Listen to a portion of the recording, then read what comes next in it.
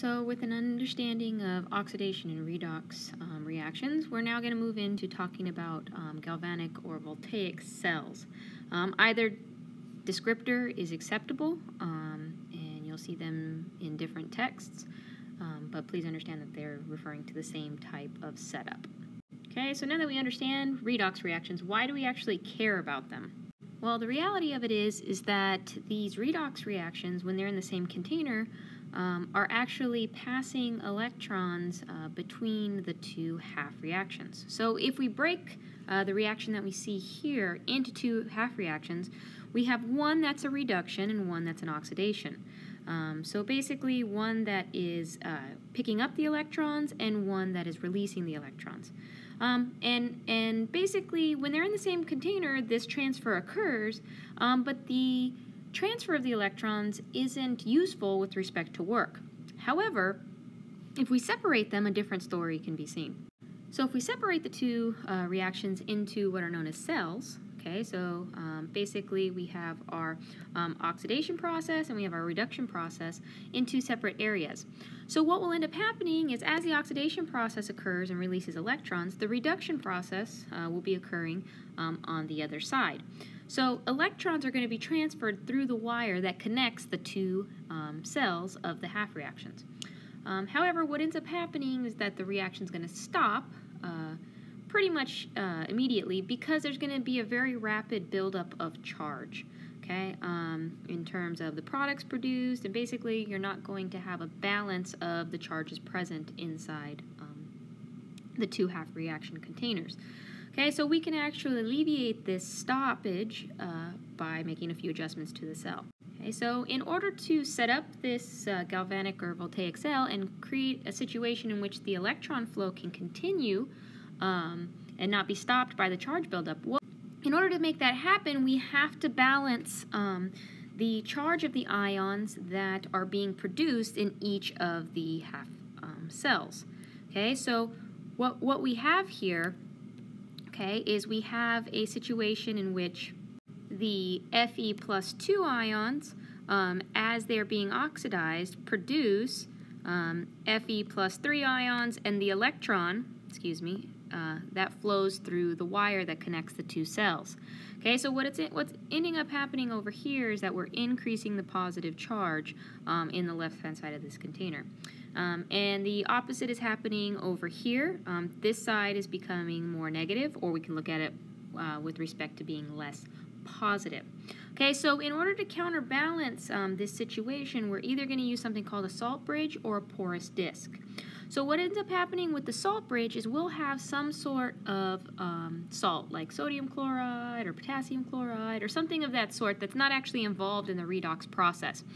And that salt bridge will basically um, counterbalance the negative and positive um, charge buildups that are inside each of the cells. So uh, basically what you end up with is, you know, if we had um, sodium chloride as the component of our salt bridge, in order for the charge to be counterbalanced, um, the chloride ions would come over to um, the positively, or the, the positive charge buildup, and the um, positively charged ions from the salt bridge would come over and help balance um, the negative charge buildup. So basically, uh, the salt bridge uh, allows there to be a counterbalancing uh, feature inside the galvanic cell. Okay, Up in a porous disk, basically what we have is a disk that um, acts as an interface between the two cells.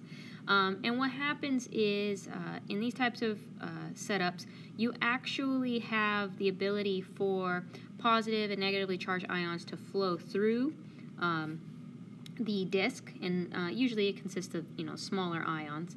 Um, and with that kind of flow allowed, it allows that charge balance to occur similarly um, to what we see with the salt bridge. However, um, it's being uh, it's utilizing the components of the actual two reactions as opposed to um, an extraneous uh, component.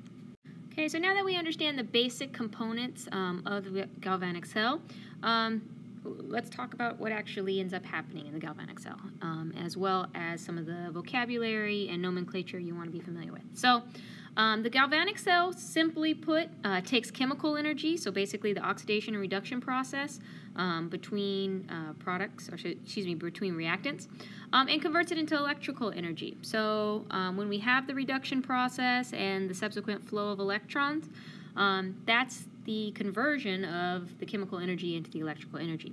So um, basically, we break up the um, half cells into what's known as an anode and a cathode. And an anode and a cathode both uh, uh, have redox reactions or a half of the redox reaction process occurring. Okay, so on the anode side, okay, that is where oxidation is occurring. So oxidation is occurring on the anode side. Um, electrons are subsequently being released.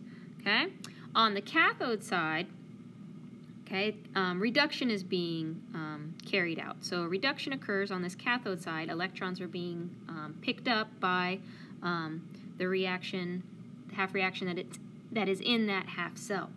Okay, so um, the way that I remember this combo is N-ox. Okay, so anode oxidation, so like an ox, like a big old um, animal. Okay, and then reduction at the cathode, red cat. So N-ox, anode is where oxidation occurs.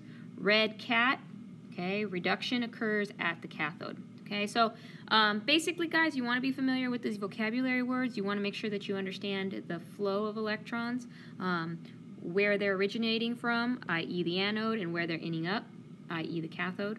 Okay, and also please be aware, guys, that just because I have this drawn in this manner, where I have the anode on the left and the cathode on the right, that doesn't mean that that's actually um, how this could be set up. I could swap um, the solutions, or the, sorry, the, the half reactions, um, and the reaction flow, although the electrons would flow in um, the same direction, meaning from anode to cathode, um, they would actually be flowing in the opposite direction um, because we would swap the positions of the anode and cathode. So um, this is not standard. This setup that you see here is not standard with respect to where the anode and cathode are. Um, so that's not a standard thing, so you need to always look at um, which half reaction you have in which container to establish what direction your electrons will flow. Okay, so guys, this is just a really, really nice uh, picture of basically the process that's happening at um, the various areas or in the various areas of a galvanic cell. Okay, so remember where the oxidation process is occurring, that's going to be your anode. Okay, so in this case, um, for this half reaction here, zinc going to zinc plus 2 and an electron. Electrons are being produced, oxidation is occurring, so electrons are um, being sent through this wire. Okay, um, on this right-hand side, we have our uh, copper plus 2 becoming copper solid, so basically electrons are being picked up. So we have a reduction process occurring at the cathode here. Okay, now physically speaking, there are these items that we haven't discussed um, called the um, electrodes. Okay, and the electrodes can be made of various different um, substances. It, it, I'm not going to actually go through every example or detail, but um, you know, you're going to have a solid um, electrode. Um, your electrode is going to be made out of uh, some sort of metal, usually, although it can be made from graphite. Um, in some situations, you will have electrodes that can match um, the types of substances that are in solution. Okay, so in this case, we're, we have a, a ox the oxidation of zinc. Okay, um, so our electrode in this situation is actually going to be zinc. Um, the reduction of um, copper 2 plus ions to copper, in this case, my cathode can be made out of copper. Um, we could also have made them out of platinum. We could have made them out of graphite. There's definitely different examples of cathode possibilities um, in situations where you actually uh, can make the cathode out of the material that's um, consistent with what's in the um, half cell. Uh, you know, you definitely want to use that type of electrode. Okay, but um, let's physically look at what's happening to the zinc electrode during this process. Okay, so remember, zinc solid, solid zinc is being um, oxidized. Okay, so basically what's happening here, um, this, this zinc um, solid is uh, basically giving up electrons okay? And these electrons are going to follow um, the copper wire and go over to the cathode side, okay? And in the same time, basically, we were producing zinc plus 2 ions in solution. So as the zinc gets oxidized and releases electrons, it's also re releasing zinc plus 2 into solution, okay? All right, so it would make sense that on this left-hand side, on this anode side, a positive charge increase is going to occur. So remember, in order to counterbalance that, we have the salt bridge. In this case, our salt bridge is made out of potassium chloride.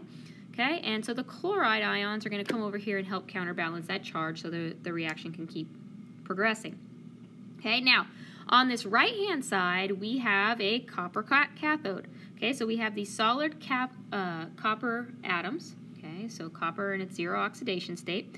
And what's going to happen is that the electrons that have followed through into the cathode are then going to get transferred into the copper plus 2 ions that are present in solution. Those electrons get transferred, they reduce down this copper, and the copper subsequently um, sticks to the electrode. Okay, so um, in this situation, we're removing plus two ions from the solution. So basically, we're decreasing that positive charge or making this solution more negative. So once again, that salt bridge comes and um, the positively charged potassium ion helps counterbalance um, that charge decrease. Okay, so um, what I want you guys to think about is what's physically happening to these electrodes. Okay, so my zinc electrode, remember, as I oxidize zinc, the electrons leave, and the zinc atoms become zinc plus 2 ions.